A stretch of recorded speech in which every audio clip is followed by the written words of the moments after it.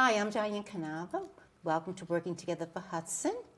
With me are Gary Gazdia, the school board, and a very special guest, Superintendent of Schools, Dan Moulis.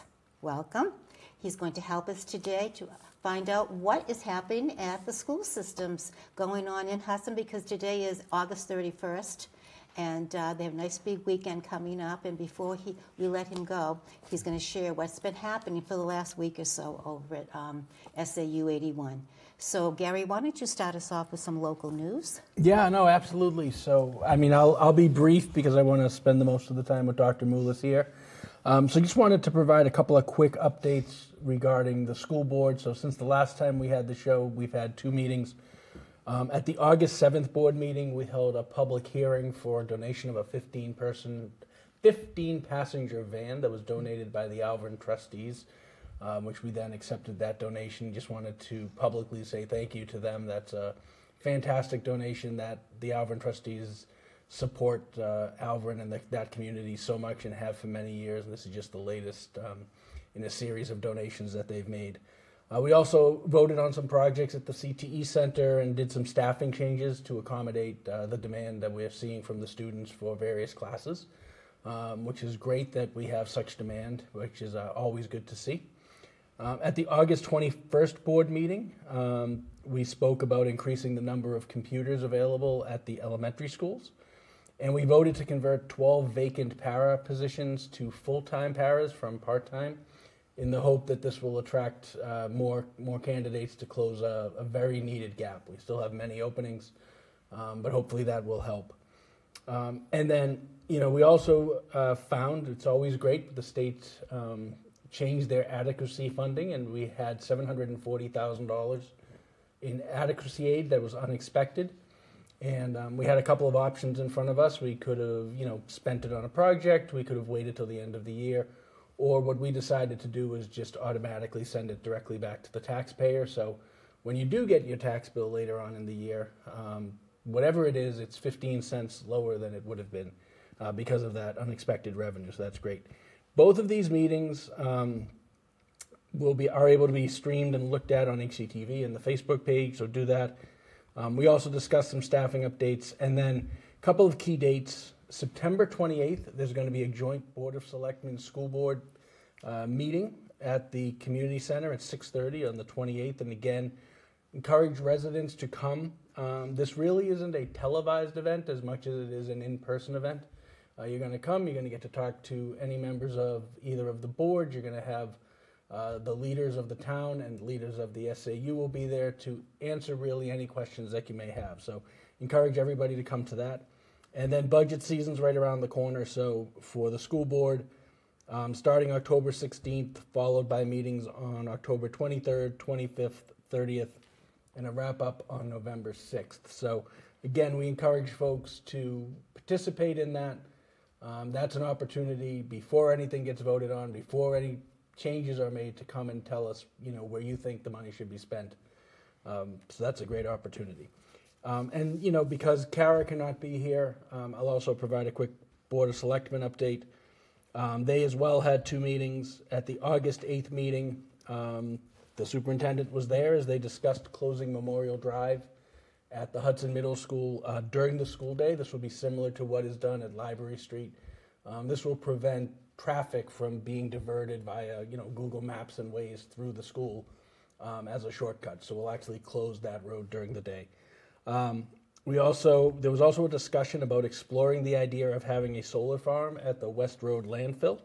I mean, just to be clear, this is not anything that says there will be a solar farm or we're looking to put a solar farm. It's literally step one of a very long process if we even want to explore the idea. Um, and then uh, the board also discussed the parameters they're giving to their department heads regarding the budget process. At the August 22nd meeting, um, there was a discussion around the feasibility study for the southern branch of the circumferential highway, uh, which would run from Lowell Road to Route 111.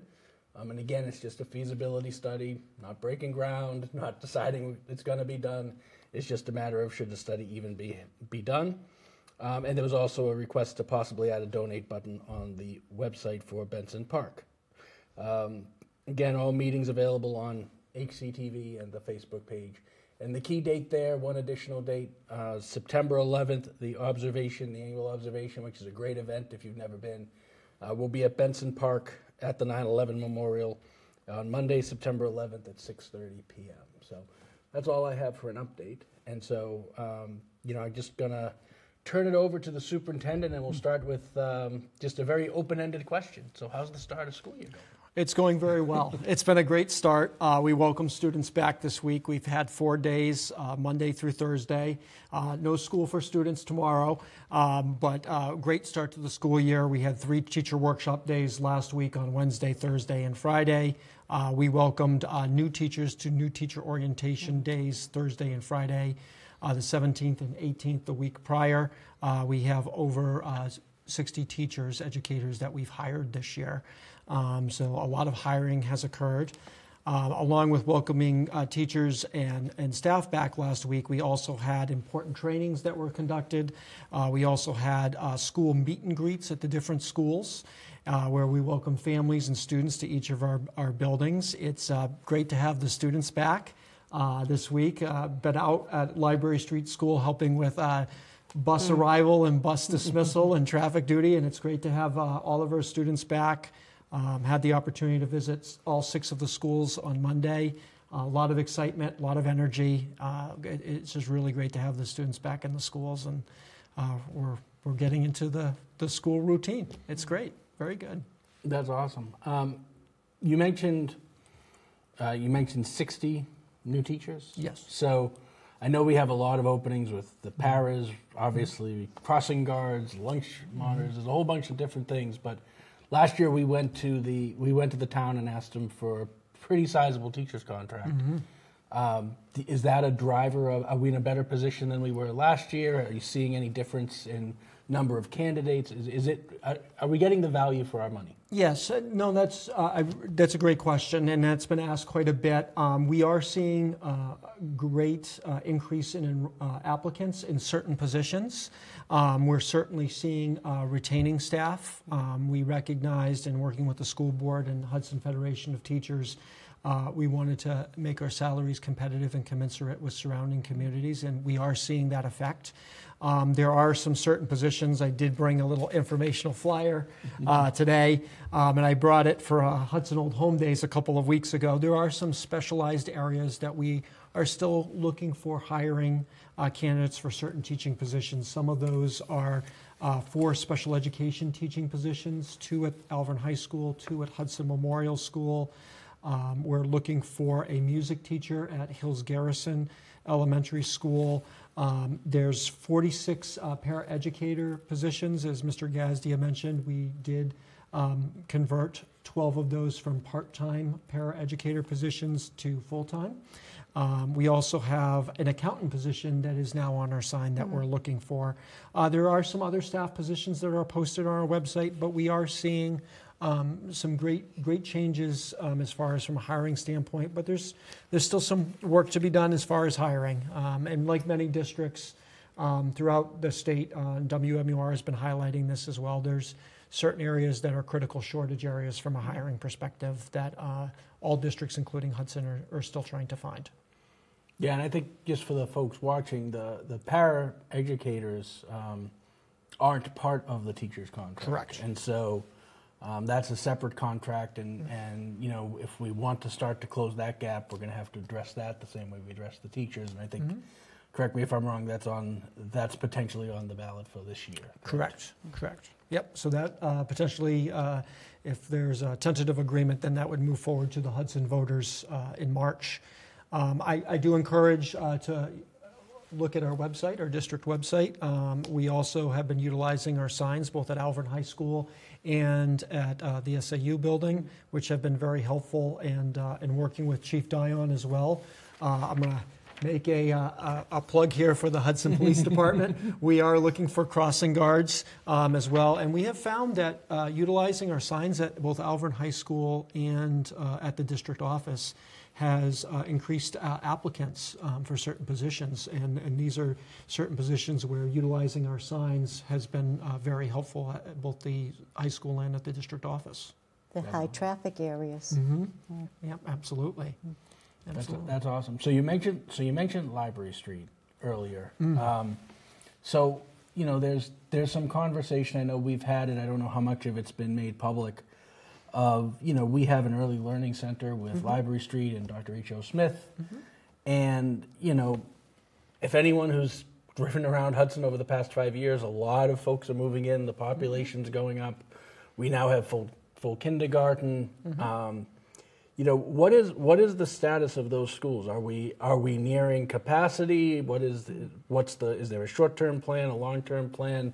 What, what's going on with that? No, uh, great question. And actually, this week when I was outside uh, with uh, my traffic duty responsibilities, helping with bus duty, um, that question did come up a little bit as well. Um, we've created a early learning center uh, committee that is going to be studying. It's in the early infancy stages of looking at our ELC model um, for education. Um, at Library Street, uh, all the classrooms are full.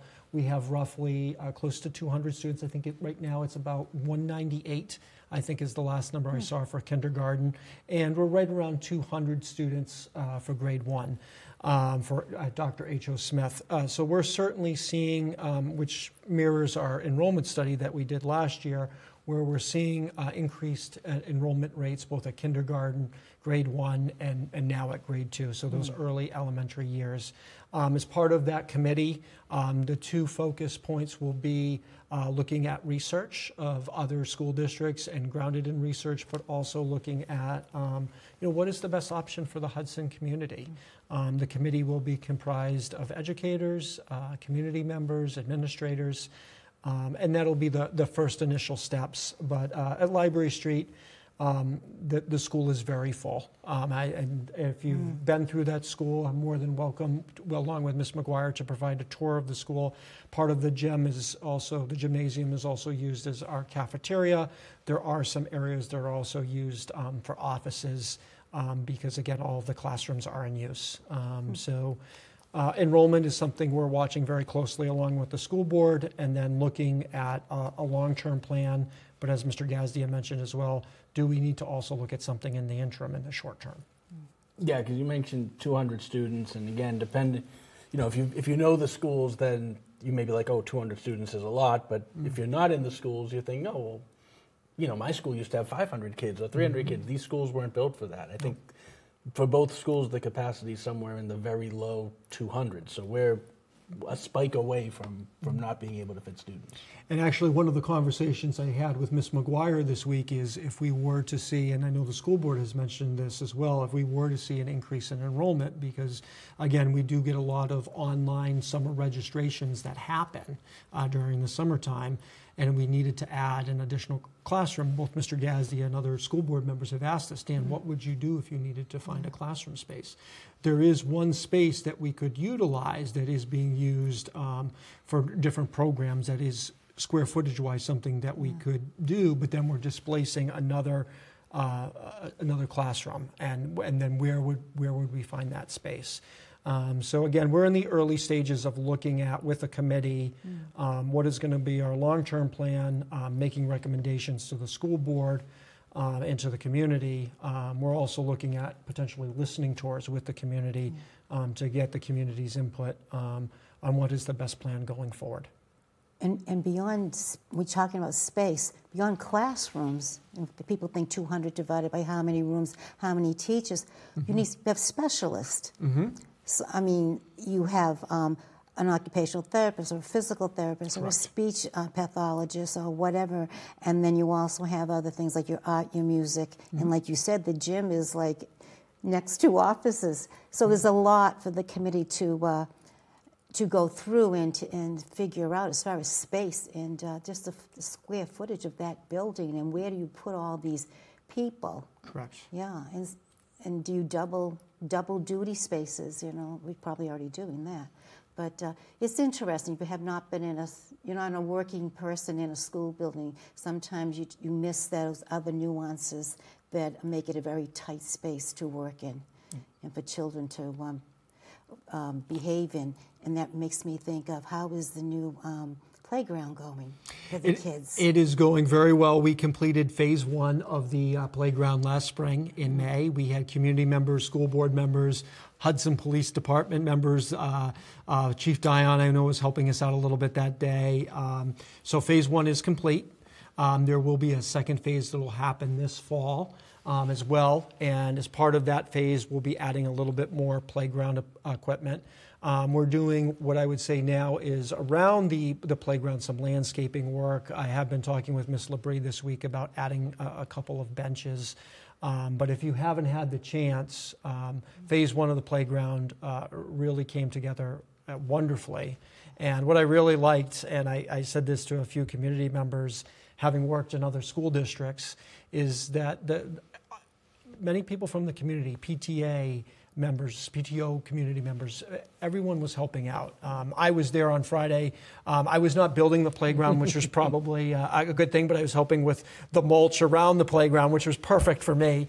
Um, but it was it was great to see over three days. Just um, again, the community works together in Hudson, and having been here for a year, um, I I really again attest and, and, and witnessed that firsthand.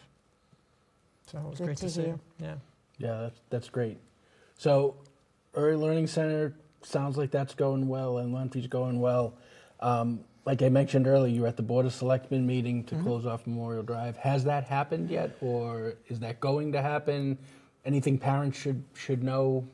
Anything like you know? But where are we with that? Yes, absolutely. So, uh, as Mr. Gazdia mentioned, the first Board of Selectmen meeting, um, I believe it was August 8th, uh, Chief Dion and I were there. We mentioned to the Board of Selectmen um, restricting access to that road. As Mr. Gazdia mentioned, that that is used as a public access, both when school is in session, when school's not in session, during the summer months, uh, as mentioned, Google Maps does see that as a public road. And during, when school is in session, um, you can have trucks um, and different vehicles going through there. Um, and again, in working with uh, Principal Bowen, uh, even when I first started, we worked on a memo. We presented it to uh, Police Chief Dion. I shared it with the school board. Uh, we presented that to the Board of Selectmen. Uh, the next step really is uh, two um, public hearings that need to occur in the month of September. Um, During those two public hearings, that'll be an opportunity for the community to provide input, um, which is uh, the last steps. So we would be looking at, from a timeline perspective, um, probably that early October timeframe, pending those public hearings, where similar to uh, at Library Street School um, and at the corner there of Library Street and where Dr. H.O. Smith School is, restricting access during certain points of the day um, when school is in session, and then a little bit beyond when school is in session, when there's after-school extracurricular sports events going on. Uh, We'd be looking at probably 7, 7 a.m. to approximately 4, 4:30 p.m. Um, But again, with those public hearings, we'll get community input Yeah. um, at those two public hearings in September, and then hopefully have decision and move forward with a, a similar pattern to what we have at Library Street and Dr. H.O. Smith School. Um, but again, it's been a team effort. I really appreciate Police Chief Dion has uh, uh, provided some great recommendations for us in consideration when we talked about, um, you know, there's not a sidewalk there at HMS, and there's students that are walking. We have students on bikes. And again, uh, it, it's, it's very busy there. It's, it's seen as a public road. So again, how do we, um, you know, not completely close off the road, but restrict traffic access during certain points of the day? Yeah, that's great. Um, so one one thing, uh, another thing that was on the ballot last year was was the parking lot, and we did that parking lot because uh, there were draining issues and all of that, and so um, I'm fairly confident that that worked out really well. It did. But some people have noticed that a different parking lot didn't survive so well with the rain over at CTE. So if you could just provide a quick update about about what happened there and Sure. and you know um, you know the investment that needed to be made to to fix that. Sure, certainly. So um, at the school district office, which is also used during the day for parents, um, for parent pickup at the beginning and the end of the day at the school district office, that was repaved and reclaimed and then paved, and uh, that work uh, was completed. And uh, that was a summer project, which is the time when you have to complete those summer projects. And then late June timeframe, unexpectedly, and this has been the summer of a lot of rain, um, we, we received a lot of rain, and that caused uh, a drainage issue at one of the, the culverts and drains um, towards the CTE entrance area, um, where uh, the drainage um, there there was the drainage just wasn't working properly, that it needed to be repaired. Unfortunately, because of that, it did cause part of that driveway um, to buckle and uh, a break once uh, the water had um, basically been alleviated from that area. The sun really from the heat and the water caused that road to buckle. Uh, we did find that there were some other drains that needed to be repaired just due to the, the volume of rainfall that uh, many towns, including Hudson, received. Um, so we worked with Principal Beals. Uh, we worked with a couple of different contractors, one of them being Continental Paving, also working with a company to uh, repair the, the drainage there and uh, come up with a solution where uh, going forward with heavy rainfall, the culverts um, will work in a manner that won't cause that to happen again. So that was an unanticipated, unexpected project. Um, certainly briefed uh, the school board quite a bit during the summer. Um, and working with Principal Beals, I became a little bit of an expert on uh, driveways and drainage that I wasn't expecting. Um, but uh, overall, we did make those repairs. Um, it was complete before the start of the school year. Um, and going forward, uh, that should not be an issue. Awesome. So um, obviously, you know, everybody sends their kids to school to to learn, and that's that's that's the key, right? Academics is, is is a big deal, and I know we've you've made some changes in you know assessments. We talked about more computers coming potentially at the elementary school level. I know we have, um, I believe it's called iReady and different things like that. Can you just talk some folks through at a very high level some of the some of the things that we have that we're hoping will you know really drive curriculum and instruction forward over the next couple years Absolutely, absolutely. So uh, this year I highlighted both at our, our workshop days and uh, during the beginning of the year three uh, priority areas, as Mr. Gazdia mentioned, um, focused on student learning. Um, the first is focusing on lifelong learning skills for students, those perseverance skills, uh, those presentation skills, those creative artistic skills.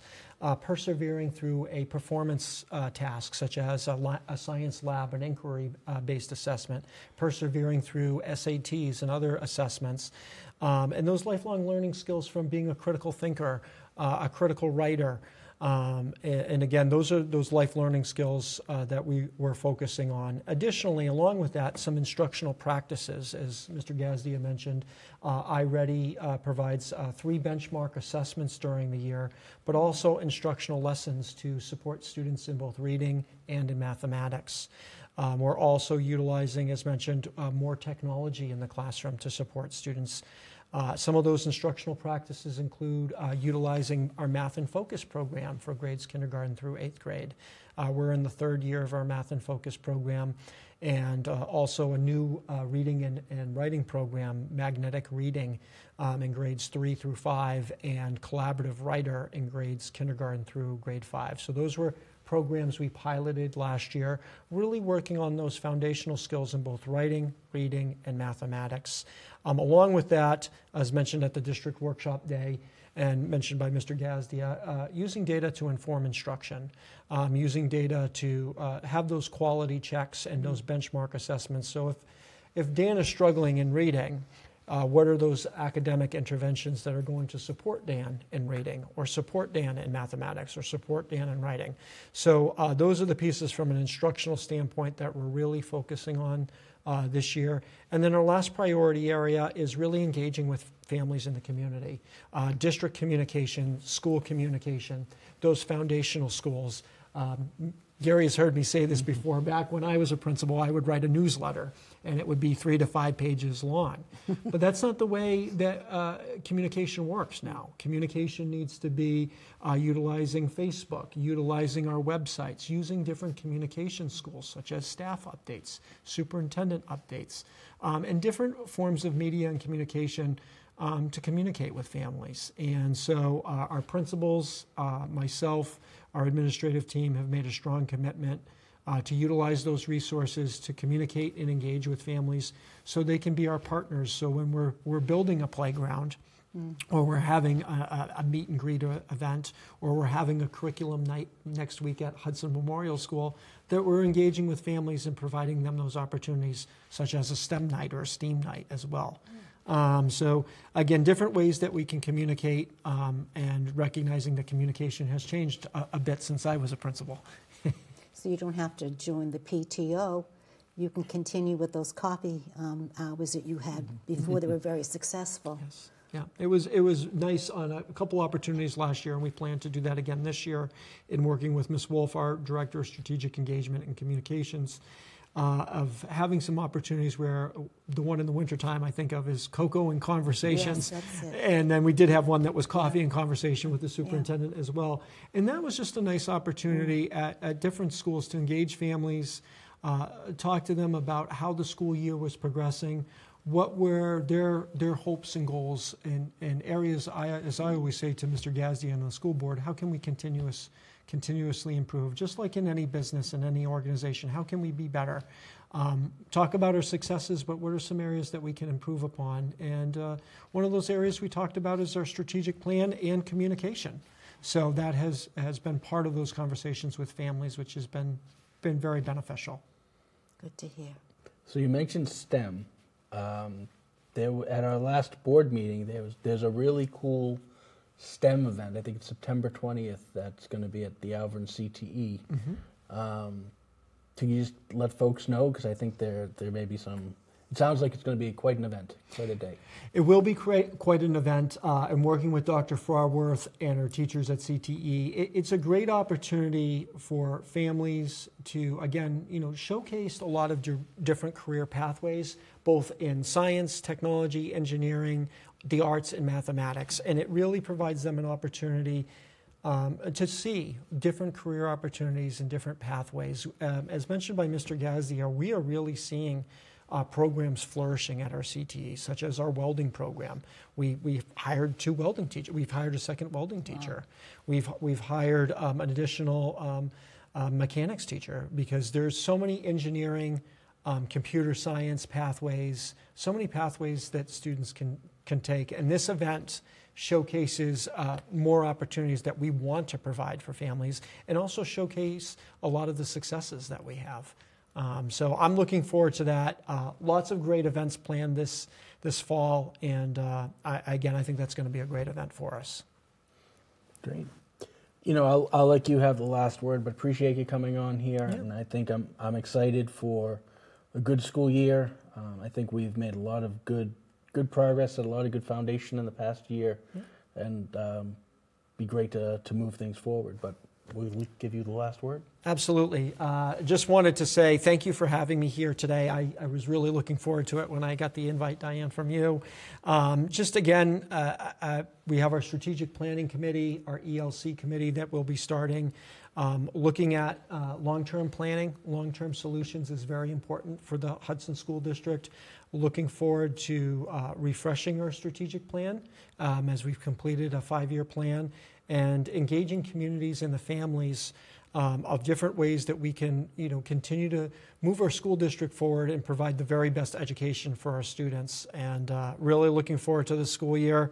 Uh, it's great to have the students back, and there's a lot of energy and excitement in the schools, which is great to see. It's nice having you here. We'll probably have you again for more updates because this is only the like the first two months of school, it seems, and you're already uh, very, very busy. Thank you very much. Happy to be here. And Happy thank you, here. Gary, for your cool. participation today. I, am just going to end with telling you a few things. As I said, today is August 31st. It, I know this will be taped afterwards, but if you're watching this live, don't forget this. This is a long weekend for the schools And on the 4th, Monday, of course, the town hall will be closed and the library also will be closed that day. But on the 5th, on Tuesday, after you uh, rested up a little bit and recreated, don't forget, at the Hudson Community Center at 7 p.m., there's going to be a public hearing. And it's all about should the town hall be relocated. Think about it. Don't get on Facebook and complain. Come in person and talk. Ask questions, get your answers, give people ideas. Um, and then, I'm not sure if you mentioned it, Gary, but September 11th, obviously, the 9 11th observation uh, um, will be at Benson Park at 6.30, as usual. And there are a couple of blood drives coming. September 12th will be by the police department, and se- September 18th will be the library. I really urge people to go on hudsonnewhampshire.gov and get on that Crier, C R I E R magazine or the newsletter. It's written so well. Um, it gives you everything that's going to be coming up in the month. So um, that's a great uh, piece of um, media for you to keep in, keep involved in what's going on with the calendar in town for both the school and the uh, the, the government. And talking about that, if you want to watch a school board meeting, do not go where you used to go. You have to go to channel Eight. eight, channel eight, and of course all the other things will be on channel six and government's on channel two. But channel eight for all your school information. Because if you go to channel, uh, the other channel, you may be buying things by mistake. I'm not sure if it's what's on there. I did it once and went, oh, I don't want that. I want the school board meeting. And I would be remiss if I did not mention that the uh, Board of Selectmen recently recognized Amy McMullen for 20 years of service in the assessing department. I think it's important because we have some great people to make up this town, one of which is Amy. So thank you for watching, and we hope to see you soon on um, Working Together for Hudson. Bye bye.